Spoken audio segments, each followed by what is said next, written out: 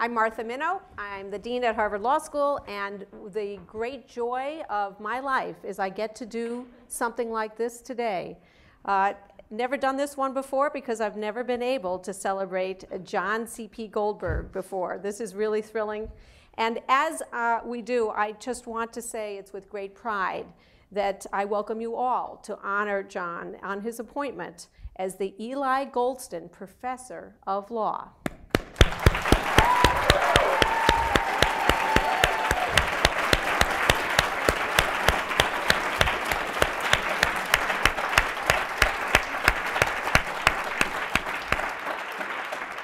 We have some special guests that I would love to extend a word welcome to today. Excuse me for the slightly dangling participle.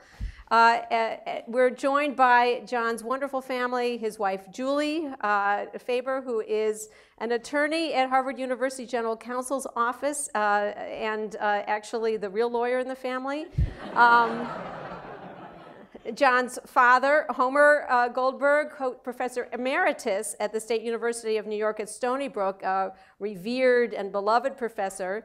Uh, his mother, Betty Goldberg, who for many years served as the director of Gallery North, a Long Island art gallery. John's sister, Emily Goldberg, an independent filmmaker who lives in Minneapolis with her family. And John and Julie's younger son, Matthew, a senior at Concord Academy. Their older son had to look around for an excuse not to be here and he found one by studying abroad in Dharamsala in, in India. So that was uh, inventive on his part. Before I tell you a bit uh, more about John, let me tell you about the chair, uh, the extraordinary man for whom this chair was named.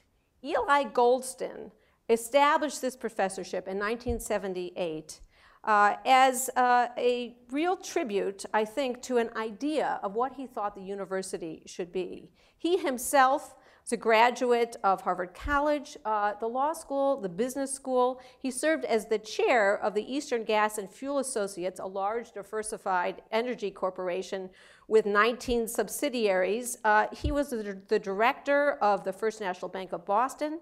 He was the director of the Boston University Medical Center. He was a fellow of the American Academy of Arts and Sciences. He was a visiting fellow of the London University Graduate School of Business. He served as a visitor to the universities uh, across the country, including Harvard, MIT, Carnegie Mellon, a real visionary about the role of universities. And he believed strongly that successful business and law must go in hand with social responsibility. So he created this chair, as well as one at the business school, in order to, and I quote, um, help students join their skills and commitments in teaching research and course development to improve social conditions through men and women trained and motivated in management and legal skills. This is really kind of remarkable. Uh, and where could we find someone who could fill the terms of this chair?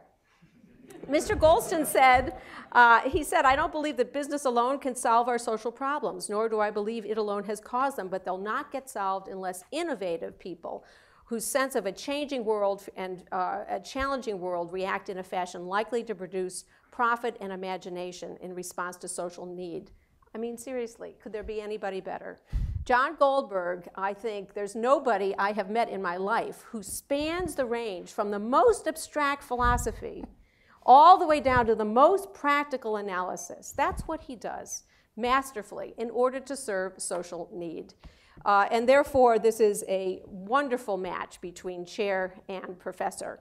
Uh, soon after being appointed to the professorship, John said, in his own professional life, Eli Goldston melded extraordinary business acumen with a deep commitment to fairness and social responsibility. And I think that you captured very well um, why it is we're so proud to, that you hold this chair.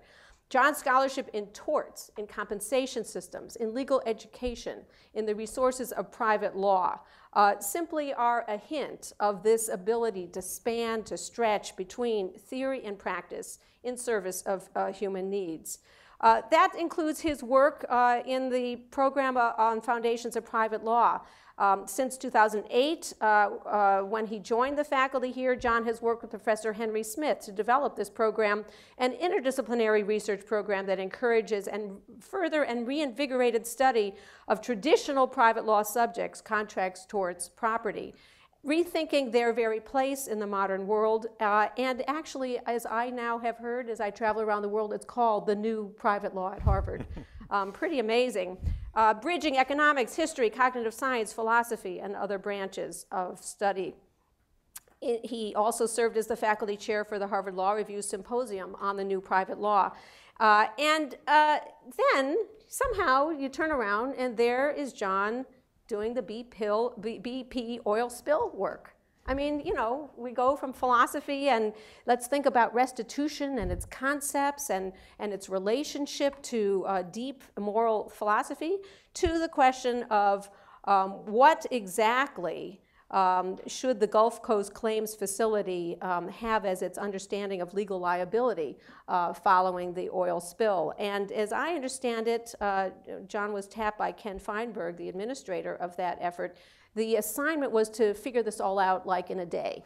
Um, maybe it was a couple of weeks. Um, but uh, not only did John do this, um, I've heard from Ken, I've heard from other people involved in that uh, very complicated issue. It was masterful. Masterful legal analysis, timely, uh, and effective. And also gave a group of law students, five of them, some pretty great experience uh, in, in developing a detailed report on liability under state and federal law that served as a guide for the fund payouts. Before joining our faculty, John was a professor of law and associate dean for research at Vanderbilt University, where he was recognized over and over again by students for his excellence in the classroom. He received the Best Teacher Award, the Hall Hartman Teaching Award, four times in different subjects. This is the thing that is unbelievable about John. Uh, and uh, you know, in, in, never never quite satisfied. He's you know, let's teach yet another one. Uh, and so John has actually taught even new subjects here. An accomplished scholar, most recently, uh, his forthcoming book, Recognizing Responsibilities, Duty, and Civil Recourse in the Law of Torts, um, co authored with Ben Zipursky.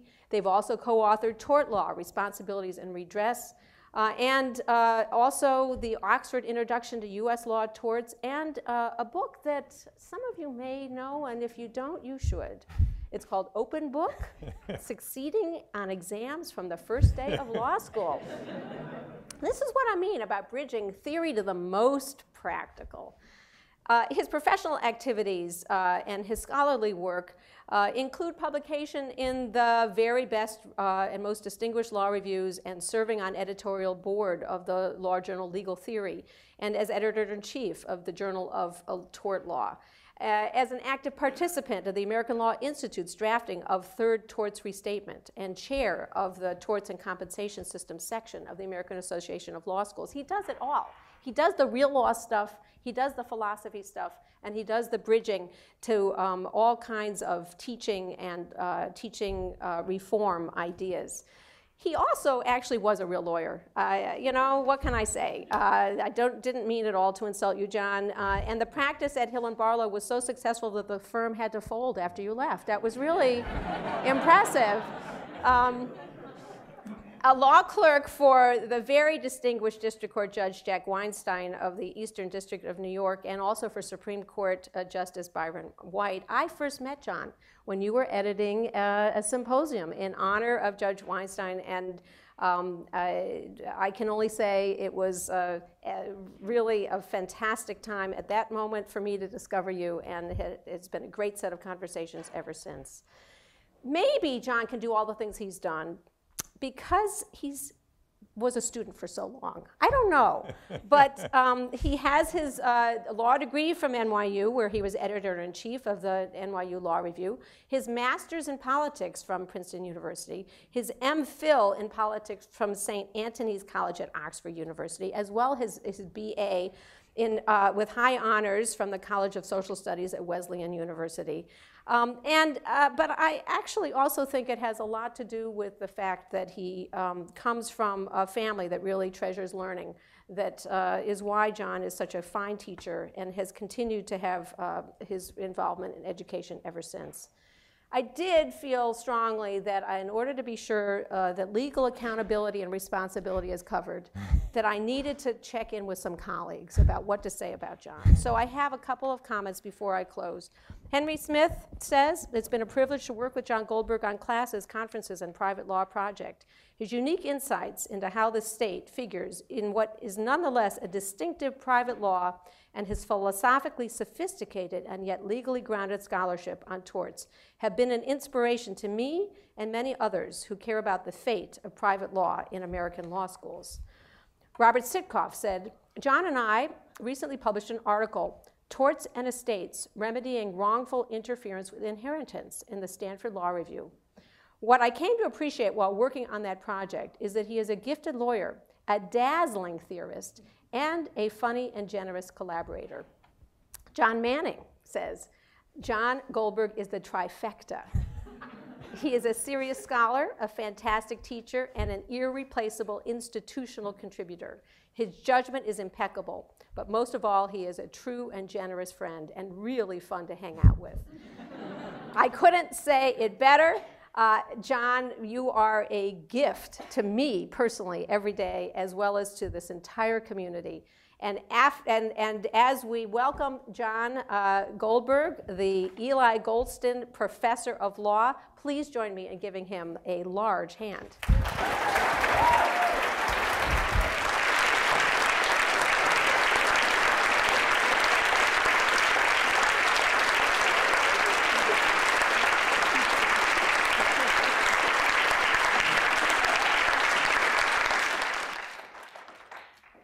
Uh, that was way over the top. Um, thank you, Martha. That was incredibly generous of you. Um, and thank you to my colleagues for being equally generous. Um, so uh, um, uh, before I get started, I wanted to thank especially Patricia Marullo from the Dean's Office who put all this together and made it move uh, seamlessly. So Patricia, thank you very much. So uh, this weekend I was um, uh, attended a, a, fantastic musical uh, put on uh, at my son's high school. Uh, uh, and at the end of the performance, as is the custom, the entire cast came up to receive the audience's applause. this is a similar moment with one difference, well, two differences. One is after the applause, they got to go home and you don't. Um, but the other difference is right now there's just there's a spotlight on one performer, but that's just a bit of theatrical trickery. Uh, in reality, I am one member of a cast uh, uh, without which there would be no performance uh, and nothing at all to celebrate. It's only because of the lighting at the moment that you can't see my castmates, so please allow me uh, to redirect the spotlight, if uh, only for a moment. let me start by reiterating Martha's thanks to the donor of this chair, Eli Goldston. Um, uh, as she mentioned, my, uh, my, my, scholarship focuses on questions of responsibility, uh, and I would like to thank, uh, I would like to think that Mr. Goldston would be pleased to have his name associated with that sort of work. Um, as Martha mentioned, uh, he was president of Eastern Gas and Fuel Associates, and he used that position uh, as a pulpit to preach a doctrine of corporate social responsibility. Indeed, he engaged in a famous debate with Milton Friedman uh, the Chicago Economist, where um, uh, uh, Goldston argued powerfully against Friedman's claim that businesses satisfy their responsibilities to society merely by a relentless pursuit of the bottom line. Uh, Goldston practiced what he preached. Uh, though it is thankfully commonplace now, back in the early 60s, his company was progressive enough to advertise with billboards that featured white persons and persons of color together. Uh, he was also keenly interested in urban renewal. He played a major role in efforts to rebuild, uh, build affordable housing in Roxbury and Dorchester, and to support the arts and arts education in poor communities.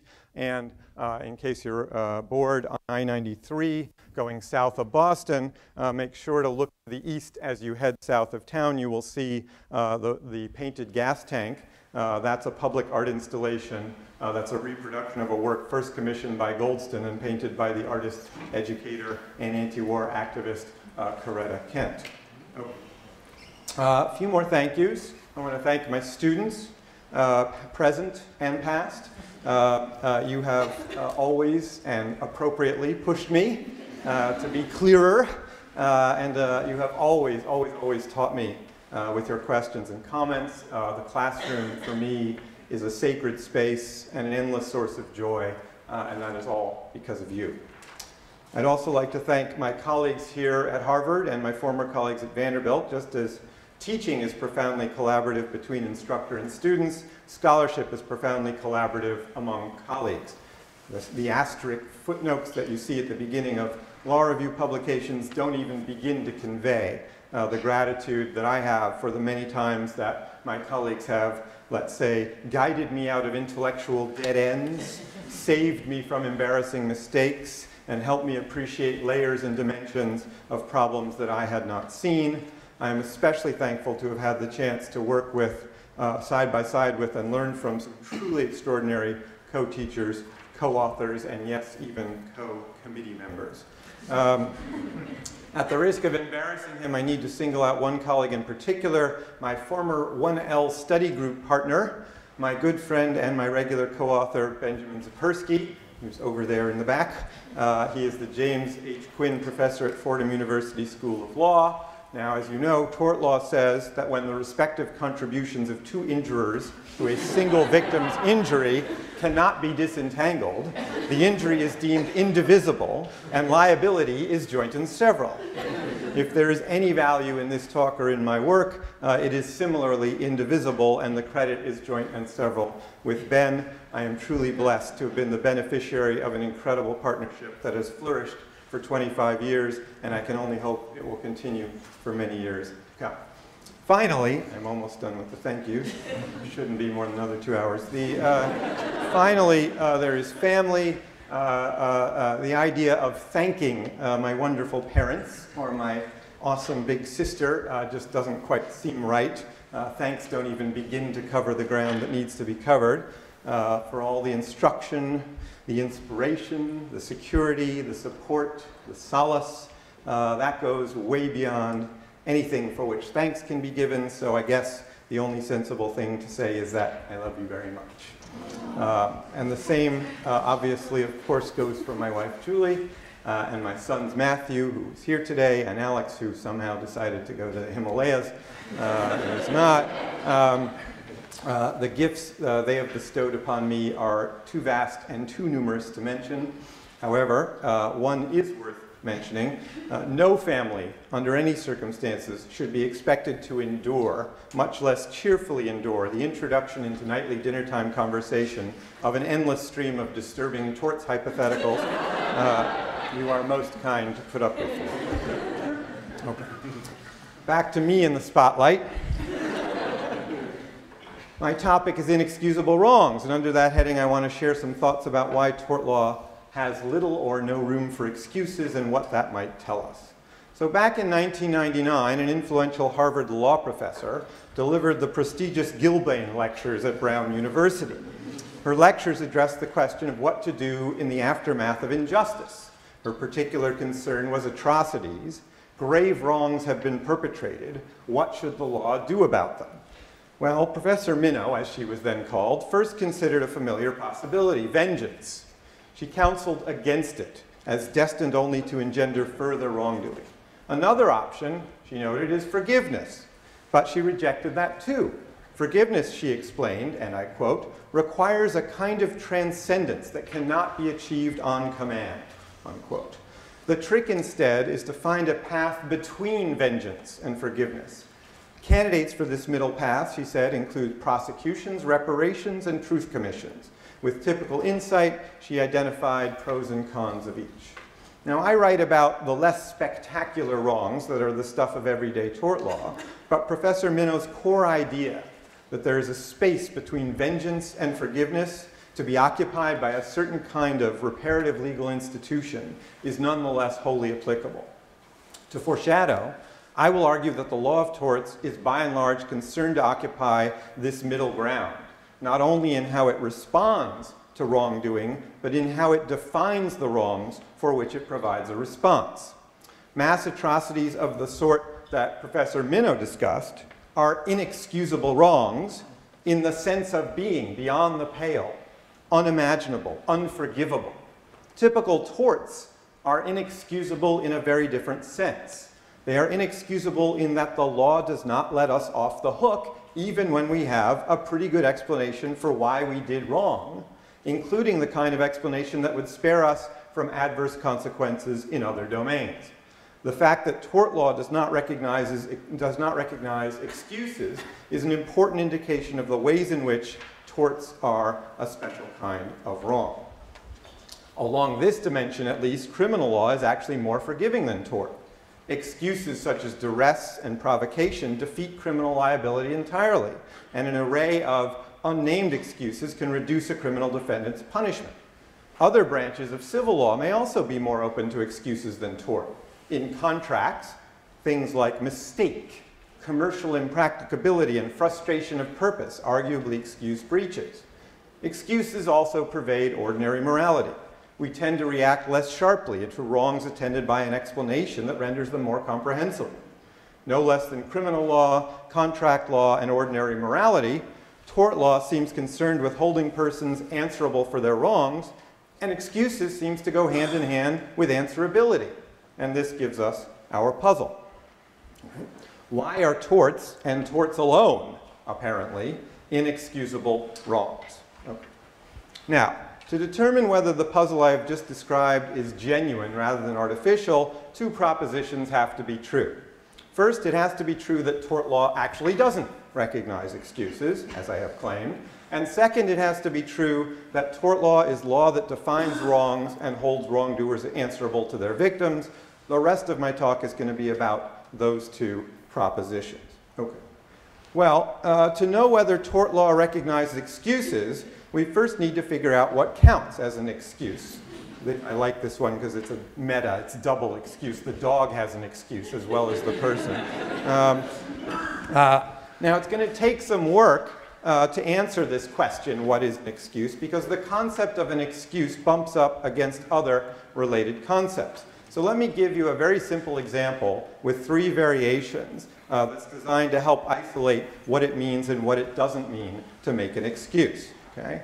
Um, let's begin with a simple legal directive, uh, a very basic legal duty. This is the directive contained in the crime of assault and the tort of battery. The, the, directive says roughly, each of us must not intentionally, physically attack another. Okay? Now imagine there's a person named Ian, and Ian is being criminally prosecuted for assault and is also being sued in tort for battery by his alleged victim, Victor. The evidence shows that Victor and Ian were having an animated conversation, and that, at the conclusion of the conversation, Victor ended up being knocked to the ground and seriously injured. How might Ian respond to the assault prosecution and the civil battery suit?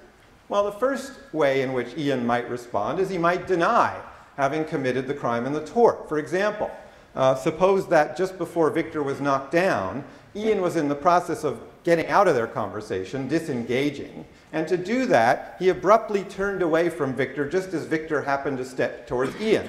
Now, because Ian turns out was a law student, he's carrying this huge, heavy backpack on his back. And so when he turned away, as Victor stepped forward, he knocked Victor down. If this is what really happened, Ian has not committed the crime of assault. He has not committed assault because that crime is defined to require purposeful, knowing, or reckless causing of bodily injury to another.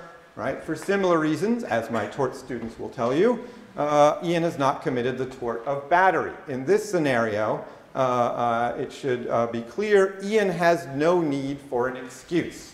Excuses come into play only after someone has been found to have done something wrong, to have committed, committed the wrong alleged. Now, perhaps Ian might have committed a different wrong, such as negligence, but that is beside the point. The point is that on these facts, Ian has established that he did not commit the particular wrongs he is alleged to have committed, and this is what it means to successfully deny wrongdoing. All right, second variant on Ian and Victor. In this one, now, Ian has intentionally knocked down Victor, so Ian can no longer deny that he committed a criminal assault and a tortious battery. However, Ian can prove that just before he intentionally struck Victor, Victor had threatened to stab Ian and had pulled a knife out of his pocket for that purpose. In the eyes of the law, Ian's assault and battery, they happen, but they're justified, and they're justified as an act of self-defense. Like a person who success, can successfully deny committing a tort or crime, a person with a valid justification has no need for an excuse. A justified assault and battery is not a wrong, so there's nothing to excuse. Now to the third version of our scenario. As in the second, Ian has intentionally knocked down Victor, so again, Ian cannot deny his assault and battery. Moreover, Ian has no claim for self-defense. Instead, the evidence shows, bear with me, this is still law school, that a few minutes before uh, uh, uh, Ian intentionally struck Victor, Ian was pulled aside by a third person named Tricia. Tricia, it turns out, is Victor's longtime enemy, of course, and a particularly vicious individual. Unwilling to confront Victor herself, Tricia instead tells Ian, I have kidnapped your child uh, and I will only release your child if you, Ian, go ahead and pummel Victor for me. Okay? Here, finally, we arrive, arrive at an admittedly far-fetched excuse uh, uh, scenario.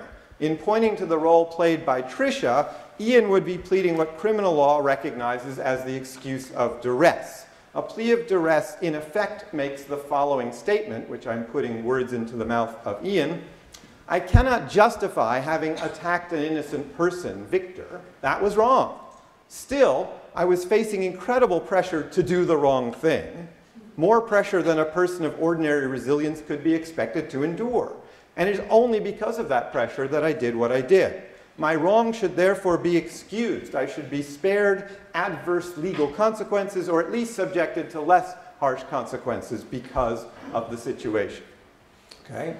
Unlike a denial or a justification, an excuse concedes that a wrong has been done. It then points to something about the situation in which the wrong was committed as a basis for rendering the wrong understandable in a way that exculpates the wrongdoer. Typically, a proffered excuse aims to show a partial disconnect between a person's will or agency on the one hand and his action on the other. A person who makes an excuse says, as does Ian in this example, well, there is a sense in which I did that, but it wasn't really fully me who did that.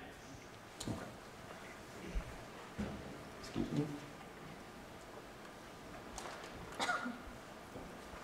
Now that we have a better sense of what it means to claim an excuse, we can return to the question of when excuses are or are not recognized in the law. And here is where the sharpness of the contrast between criminal doctrine and tort doctrine is revealed. In the duress scenario, the one in which Ian attacks Victor only because of Tricia's threat, Ian stands a good chance of avoiding a criminal conviction. But he will not avoid liability and tort for battery. He will have to pay compensatory damages to Victor because he intentionally attacked Attacked victor.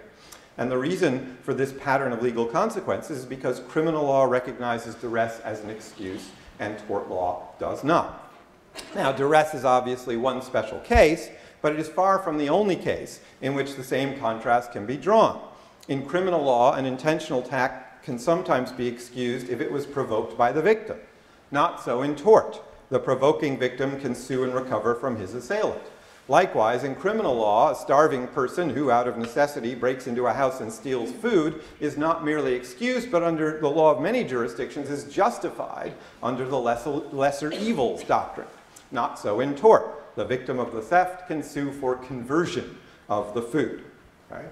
So, just to sum up, here are some excuses, all recognized in crim, including miscellaneous excuses in sentencing, none recognized in tort. Now, in front of a less sophisticated audience, I would at this point rest my case for the claim that tort law does not recognize excuses, but this audience will recognize immediately a huge gap in my argument.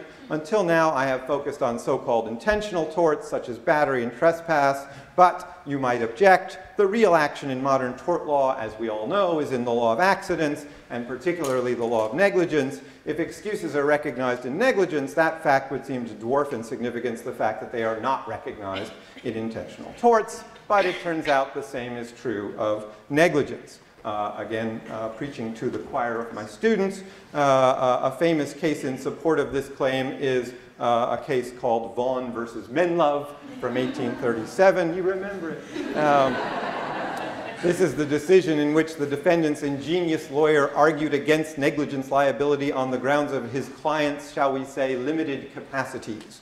My client, the lawyer argued, was as careful as he could be given that he is an unthinking, clumsy fool. Uh, the court rejected this argument, insisting that the foolish and clumsy are held to the same standard as the sensible and the prudent.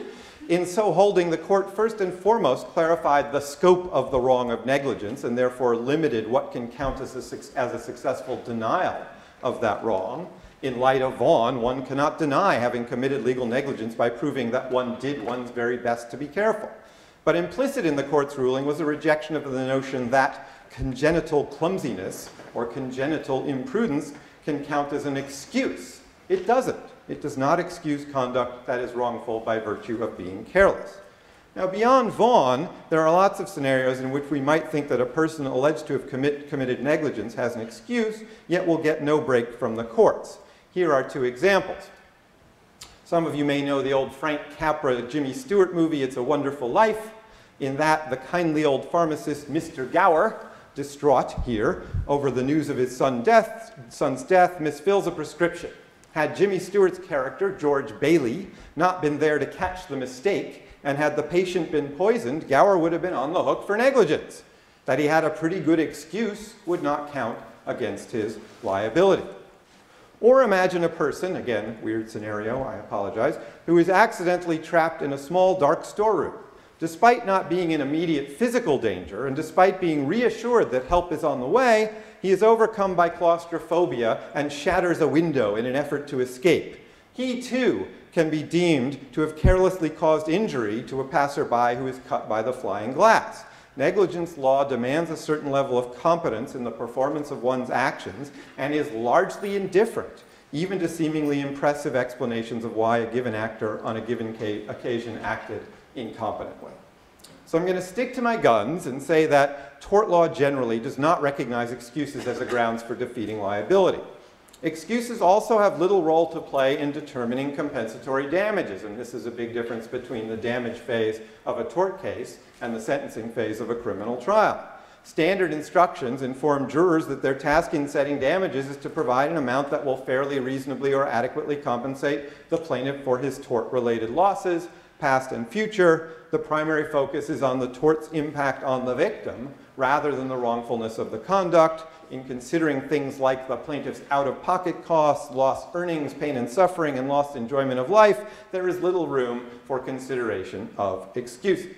Now, I don't want to go press things too far, and every rule has its exception, and I so I will, in the interest of candor, acknowledge one apparent exception to the rule that tort law does not recognize excuses. At the end of a tort case, after liability has been determined, judges and jurors sometimes apportion responsibility between a plaintiff and a defendant or among defendants on a percentage basis. The process of apportionment does seem to invite consideration of excuses as a variant on my earlier claustrophobia example will demonstrate, although it may cause you to take the stairs after the talk. Suppose an elevator manufacturer's carelessness causes an elevator car to lose power and become stuck before leveling off at the fifth floor of a commercial building. A lone passenger is trapped inside the dark, motionless car, but uses a phone in the elevator to communicate with the building security guard. The guard reassures the passenger that she will be rescued in an hour or two. Nonetheless, the passenger panics pries open the elevator doors and is injured attempting to pull herself up to the fifth floor.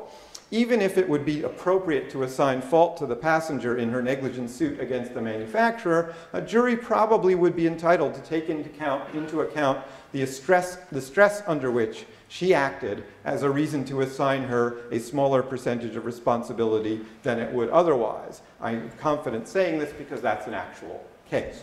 Um, Similarly, uh, juries faced with apportioning liability among multiple tortfeasors responsible for a single injury might assign less fault to a tortfeasor who can claim a plausible excuse for its wrongdoing. So I'm going to have to think more, and I welcome your help, on thinking through the significance of excuses in apportionment and what that tells us. Okay, fine.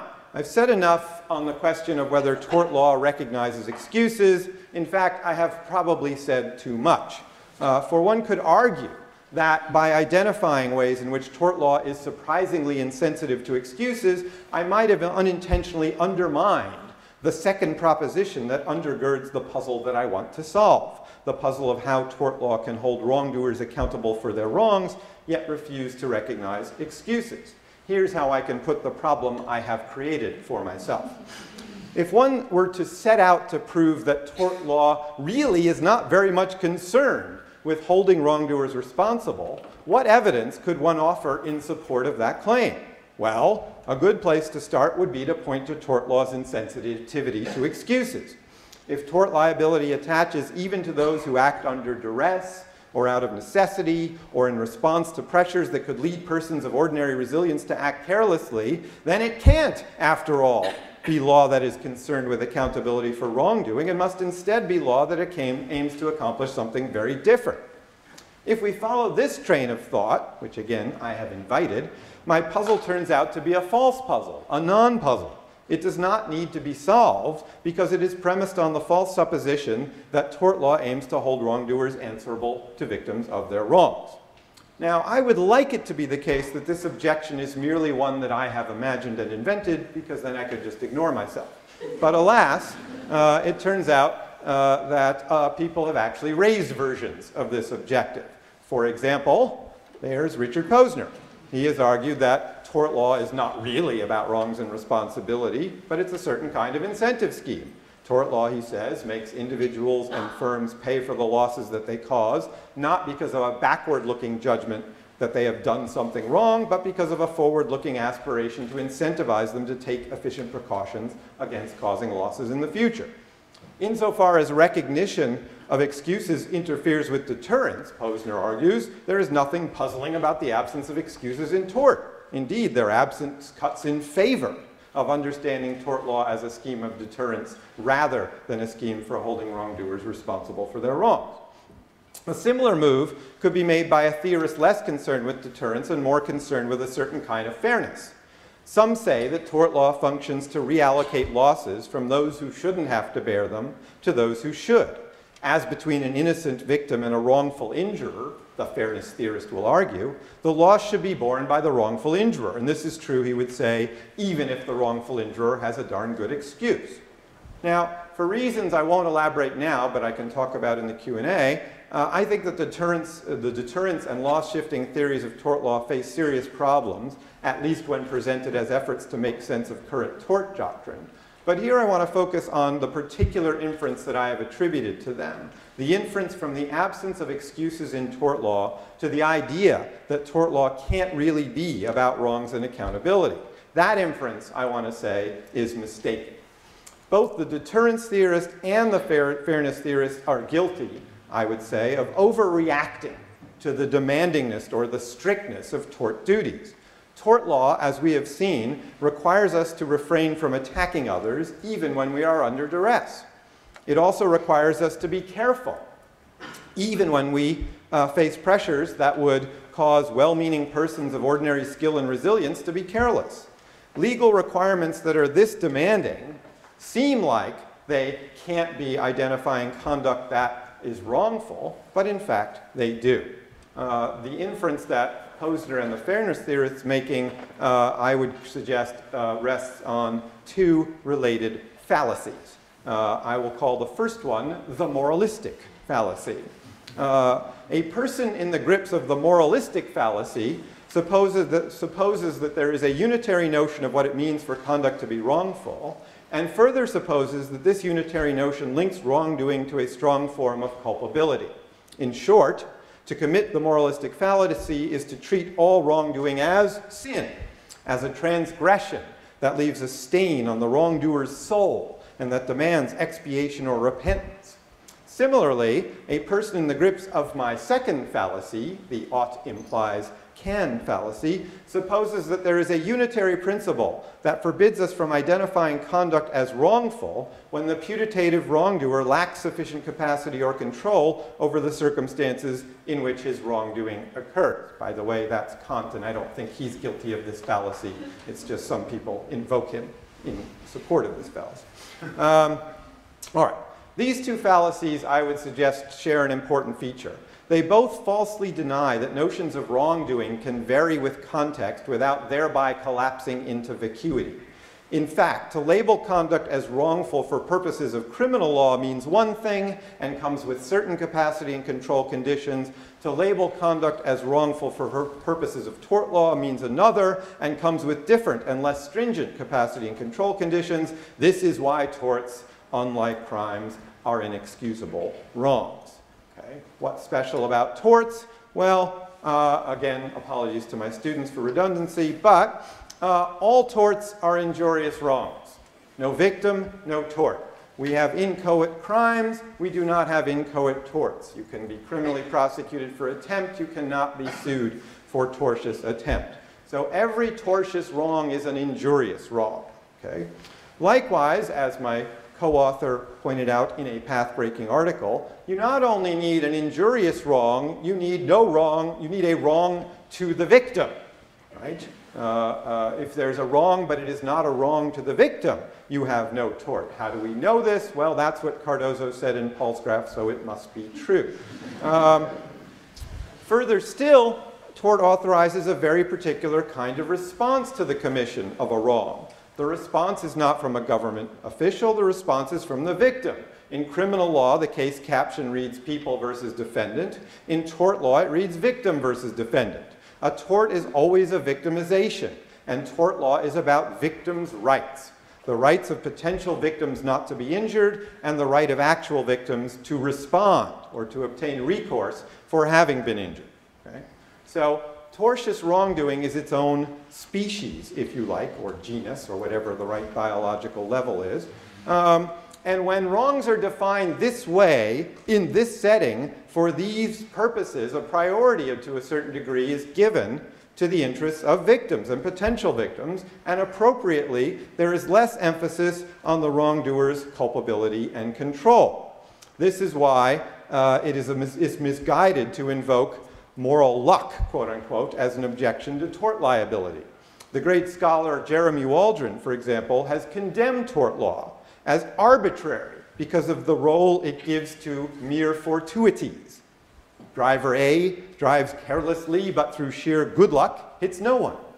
Driver B drives identically and through sheer bad luck, hits someone.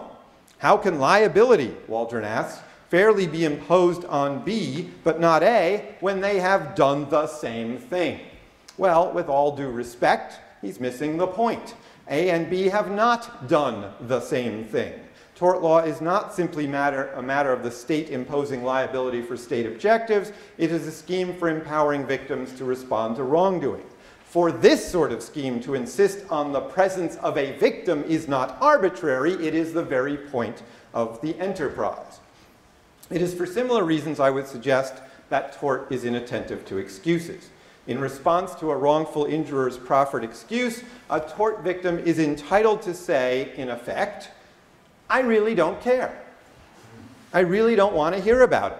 You hurt me intentionally or carelessly. I understand that you have a pretty good explanation of why you did what you did, but that doesn't matter to me.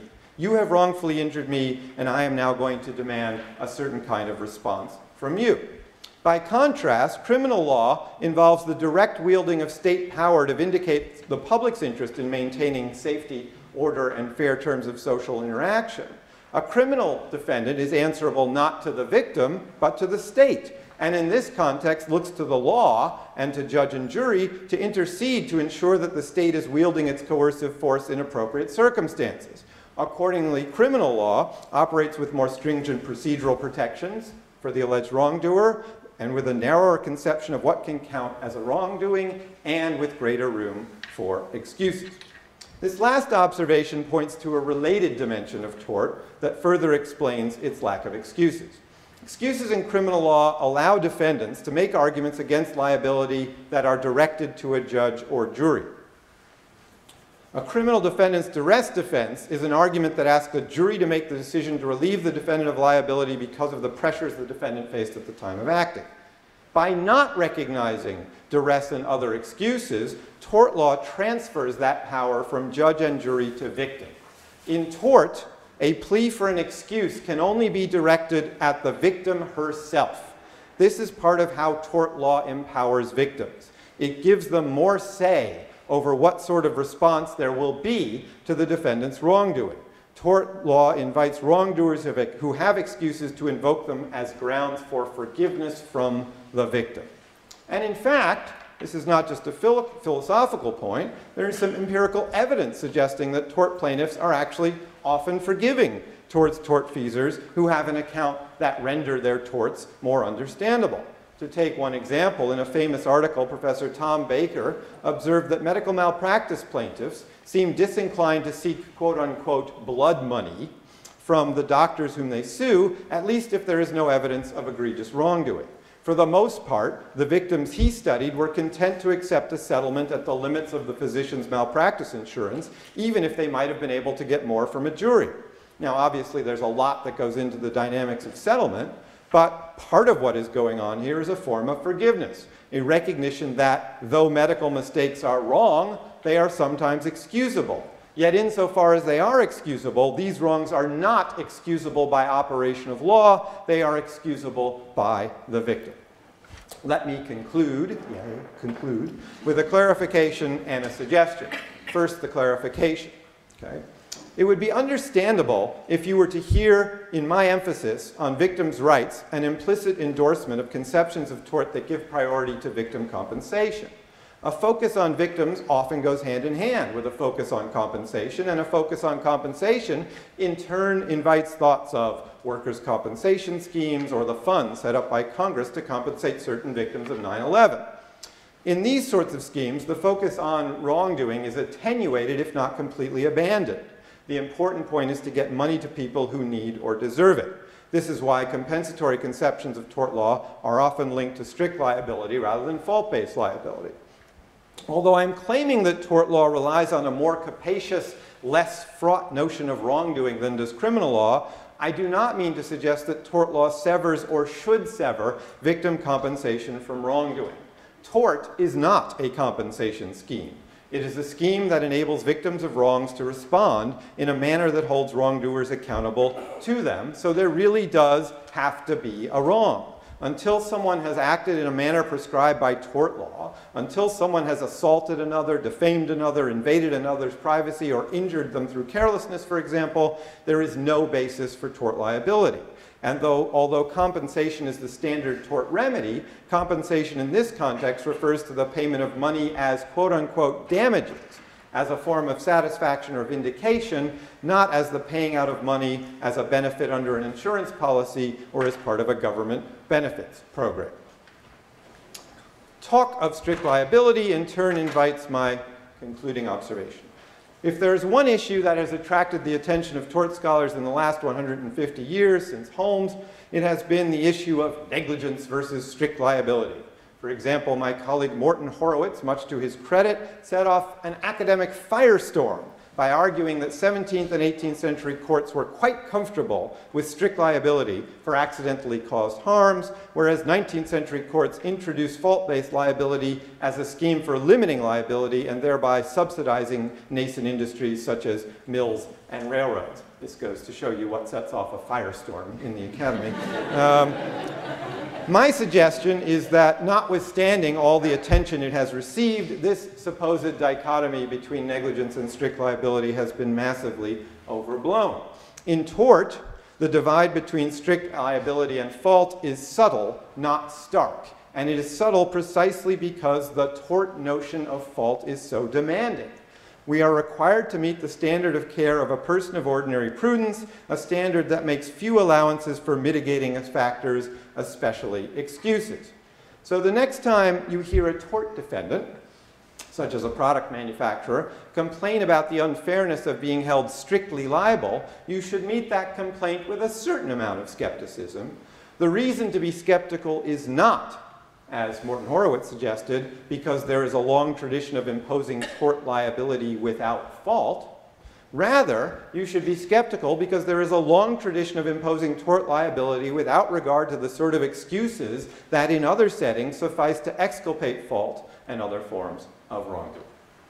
I began by invoking Martha's observation that the law sometimes must look for a middle path between vengeance and forgiveness.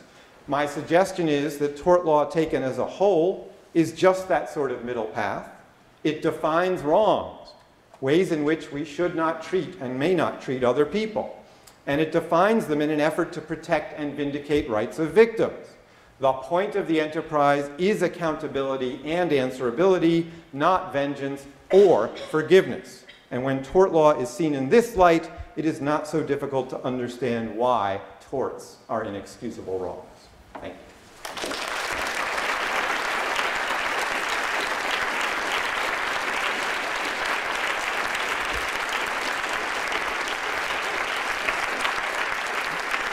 you. Sure, yeah, absolutely. Questions?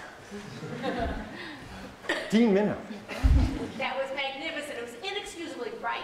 Um, John, John, who, whose wrongs are these towards? Are these the wrongs to the person who's injured? Are they wrongs to the society? And does that matter in the contrast with criminal law? Yeah. So uh, these are quintessentially wrongs to the victims. And they're defined, that's why victims are built in to torts. You can't have a tort without a victim. And uh, the whole idea going back, way, way back in the English common law tradition is to distinguish between crimes, also called public wrongs, and torts, and breaches of contract, etc., called private wrongs.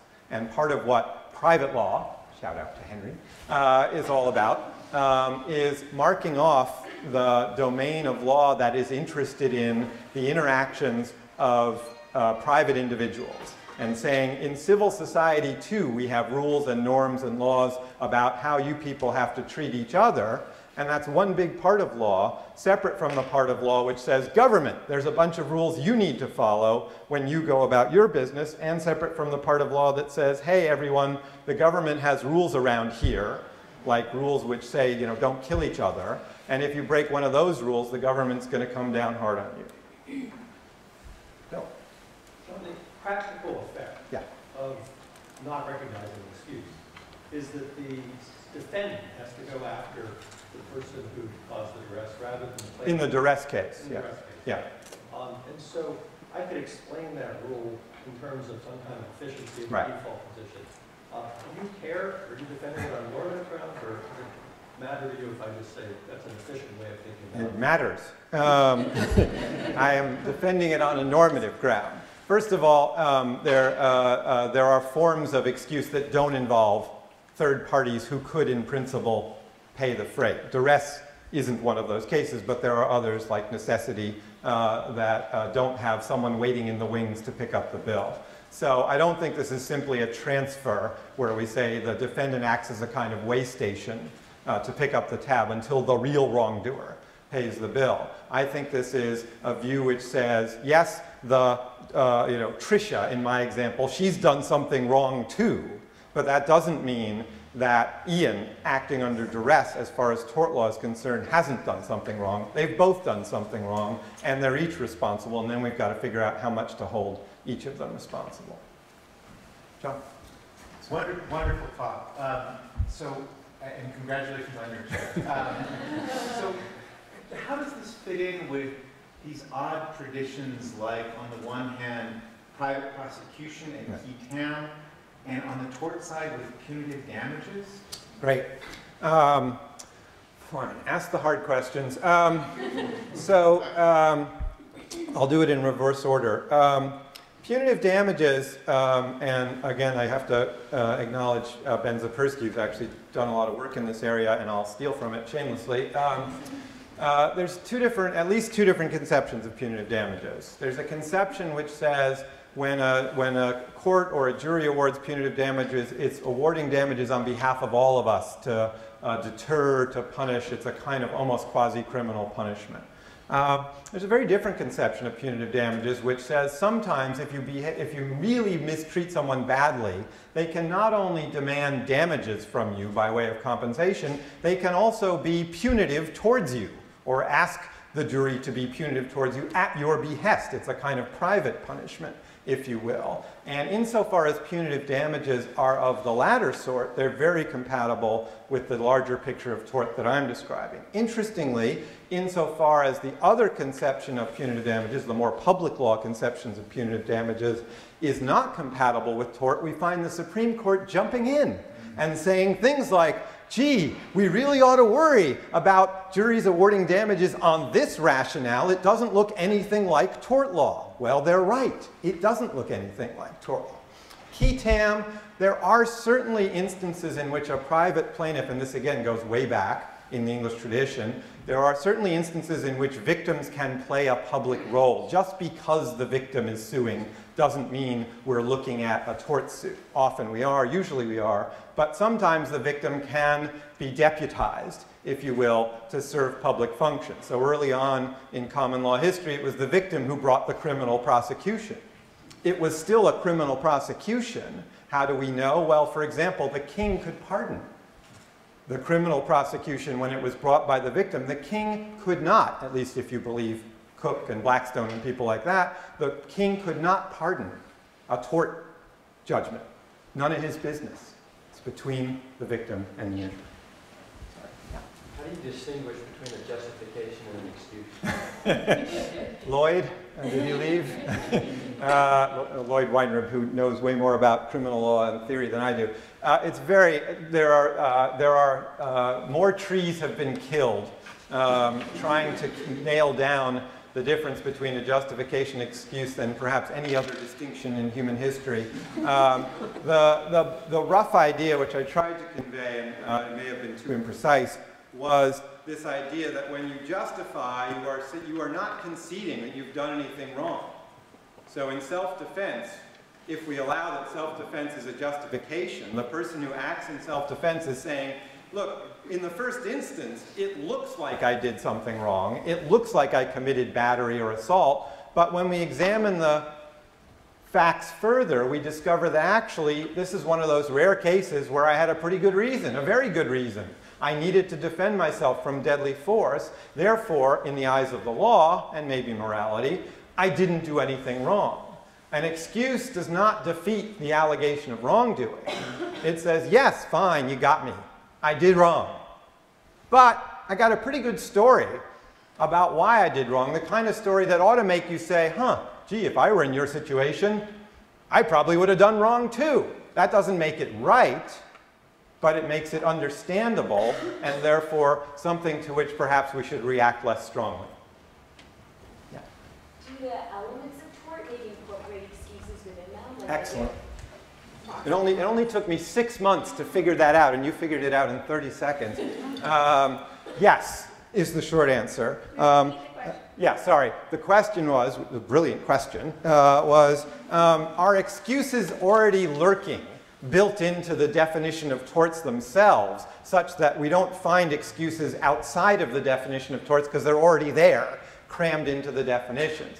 Um, it's a really great question. Um, uh, the, the, the short answer is yes and no. There are excuse-like, there are, this is, you know, years of research. Uh, there, uh, there are excuse-like considerations that factor into both torts and crimes, the definitions of them. So take, for example, acting under hypnosis, that favorite law school example. If you're acting under hypnosis, really, genuinely, truly, both criminal law and tort law will say you're off the hook when you hit someone or whatever. Well, why is that? Well, because it wasn't really you, right? It wasn't a reflection of your agency. Um, and that does look like an excuse. The difference is between criminal law and tort law is even on top of that built-in excuse, there's an additional set of excuses that criminal law recognizes that tort law does not. So there's still a difference. But you're right, it's a subtler difference than I first let on. So good for catching me out. Yeah. This is a question about the relationship between law and morals and what you described as the moralistic uh, fallacy. So when you get to the end, is this the, what you want to say uh, about tort law, that every violation of a legal prohibition that injures somebody else uh, is a tort and a wrong? Uh, because if that's what you want to say, then the moralistic fallacy seems wholly, wholly, wholly misplaced because the moralistic fallacy seems to be insisting what seems intuitive, that there's got to be some interesting relationship between the idea of a moral uh, wrong and a wrong that the law uh, would deal with as a tort. And so what is that relationship, given that the definition that you provide seems to be uh, that something that wasn't a wrong uh, yesterday yeah. uh, becomes a wrong today as soon as we've got a statute. Good.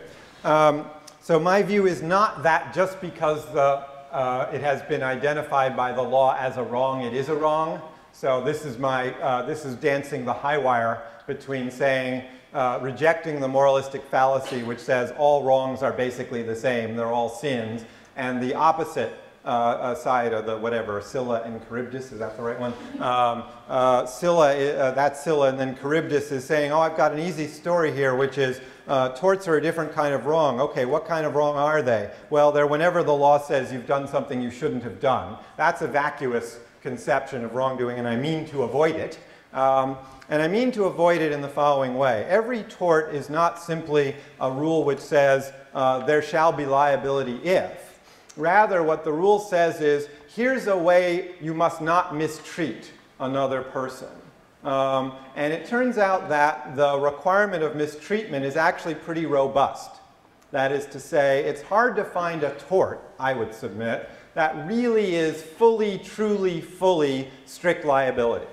Take, for example, uh, products liability, where we talk about strict products liability. You manufacture a product, it injures someone, you pay. That looks like it creates a problem for me, but I'm going to say it doesn't.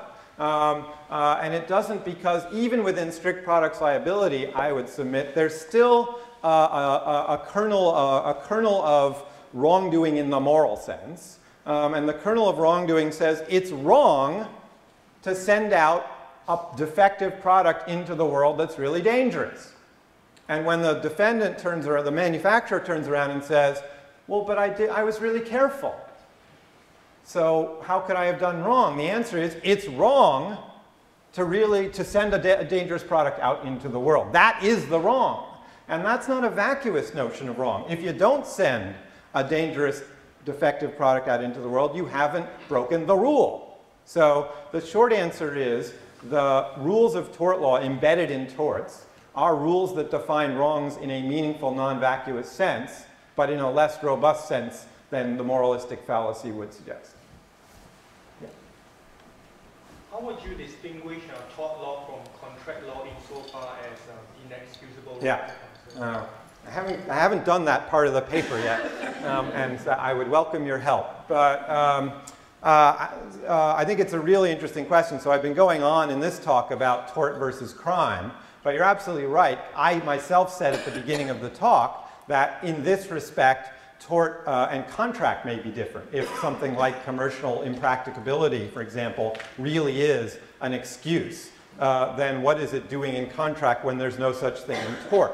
Um, I have a couple of thoughts. One is um, contract law is always differentiated by the fact that it sets these sort of default rules that people can work around right? So that may be a difference. That is to say, if you really want impracticability not to be ex an excuse, you may be able to contract around it. Um, second, there may be something distinctive about uh, the affirmative nature of contractual duties. That uh, the typical tort is a breach of a, let's call it a negative duty, a duty to refrain from injuring people in certain ways. Um, in contracts, uh, the duties are, of course, affirmative to, affirmative to fulfill a promise or an agreement that you have made, and it may be that there's more room for excuses when that's the kind of duty, but this is still very much tentative and under construction, so please email me with the correct analysis. If you have a situation like BP where you have multiple yeah. victims, state, city, yeah. county, what have you, and, and individual citizens, what type of strategy do you use to try to balance different interests involved? I that's a long question. Yeah. um, is Ken is Ken here? um, uh, so uh, uh, it's a it's a really it's you know, some some wrongs are massive.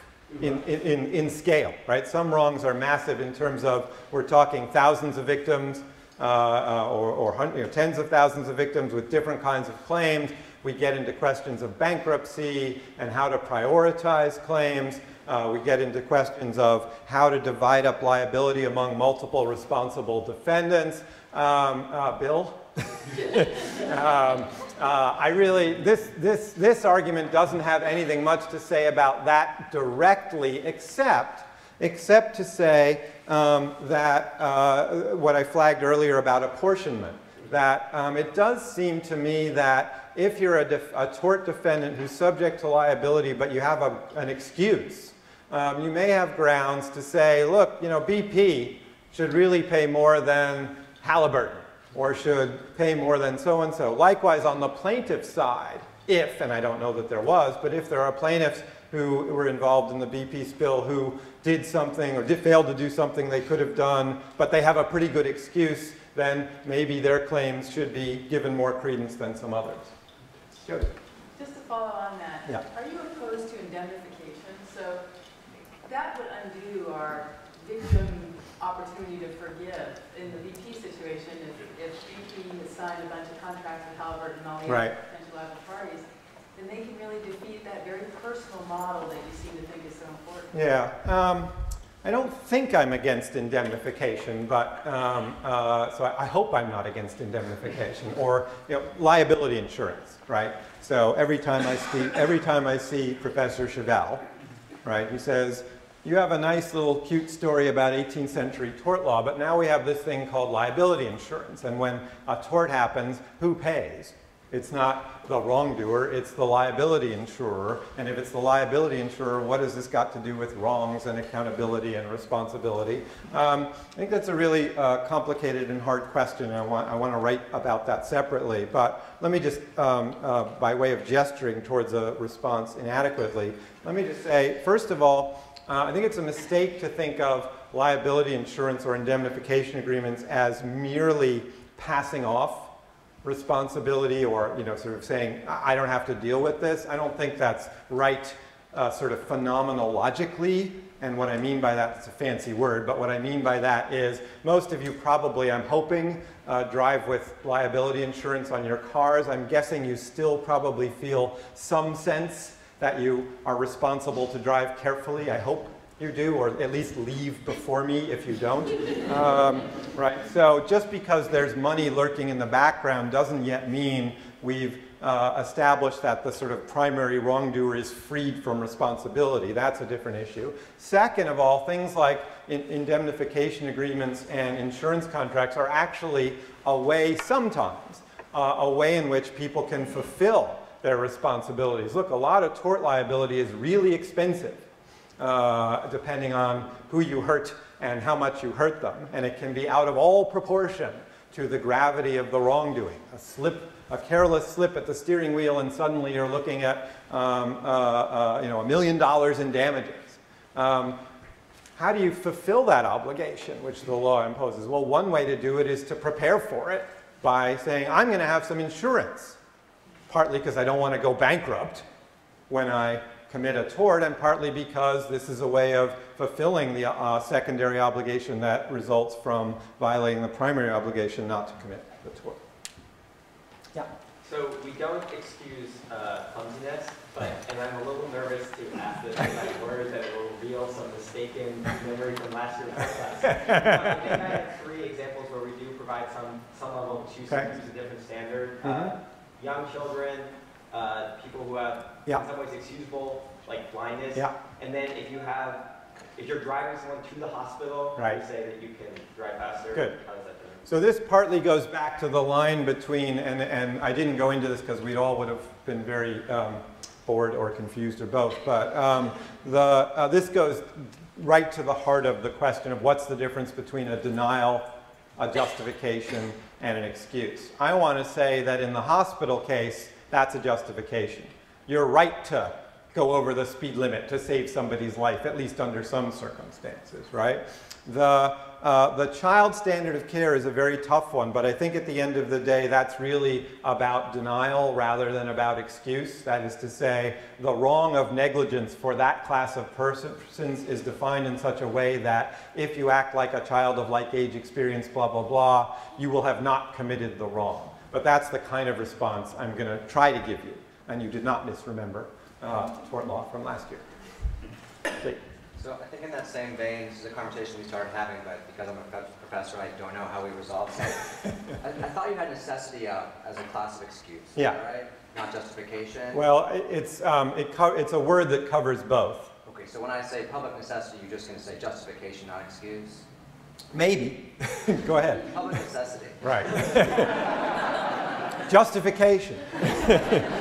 um, uh, so, uh, right, so this is a case where um, there's a out of control forest fire, um, your house, um, uh, that we need to create a fire break to control the out of control fire. We're going to burn down your house um, uh, to save us all from uh, the fire spreading, that kind of case.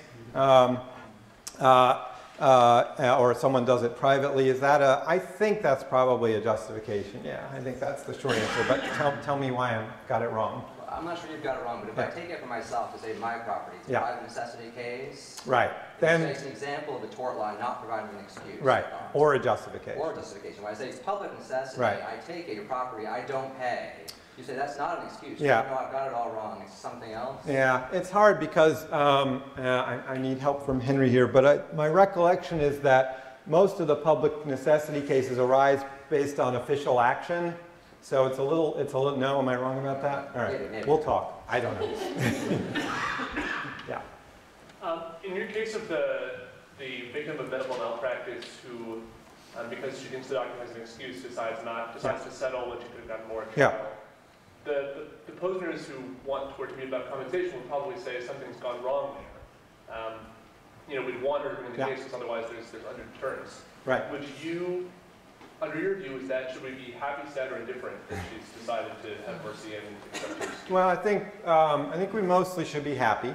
Um, that is, this is really between the injurer and the victim so far as tort law is concerned, and if they've worked it out to their satisfaction, and we'd have to worry about whether they really have worked it out to their satisfaction, whether the plaintiff isn't being lowballed by her attorney or da, da, da. So there's lots we'd have to worry about in terms of the process by which the settlement is reached. But assuming the settlement is reached appropriately, we're mostly happy. Um, tort law has done, in some sense, what it is supposed to do. Now, if there's a kind of gap left over, that is, if this practice of forgiveness, let's suppose it's widespread enough that it's creating a systemic problem, too many doctors are being careless because they say, oh, good news, as long as I'm not doing a really bad job, I'll be excused by the victim, so I won't pay as much, so I'll be a little less careful. Is that a plausible hypothetical? I don't know. Um, but even if it is a plausible hypothetical, that might be a really good reason to say we need something else in addition to tort law to help us solve the problem of careless doctors, right? Tort law isn't the only branch of law. It's not the only game in town. It does what it does. But if we need regulatory law or professional associations or criminal law to make up some of the deterrent slack, that might, uh, that might be perfectly appropriate. Yeah. So I had a clarifying question about contributory negligence and Yeah. how that might be an exceptional place where you do find excuse in Mhm. And so you, you were, you were using a, um, the lift example, Yeah. the elevator example, Right. as a case where um, there's one tortfeasor, there's one victim, and um, what the, it seemed like what you were saying was what the victim did might actually be an excuse for the tortfeasor, which doesn't seem to make any sense. Oh, sorry, I didn't mean to- explaining what yeah. the victim did in her actions Right. in, um, in whether or not there would be a contribution to the injury that she suffered. Right. It doesn't seem to be an excuse that the tortfeasor can make use of. That's right. No, this, that, I was assuming that the, I apologize, I wasn't clear. I was assuming that the, um, the victim trapped in the elevator could point to her excuse as grounds for reducing her comparative fault rather than grounds for reducing the defendant's fault. But you're right, some people say that just on the whole question of what counts as a victim fault, um, we use a different standard than we do with respect to uh, injurer fault. And uh, the different standard we use for victim fault, the argument goes, actually is more lenient towards victim and uh, victims and allows for more excuses, not only on the question of how much fault to assign victims, but whether to assign any fault to the victims. And that's a, that's a debate that's ongoing right now among tort scholars. Um, and I need to look into, I don't know yet, uh, I don't have strong views yet on who's right about that. So there's just a couple of things that have to be done for there to be no, uh, no wrong. So, um, we're gonna have a photo opportunity in a moment. Um, but to have that opportunity, we have to unveil something. Here it goes. A lovely chair. Thank you.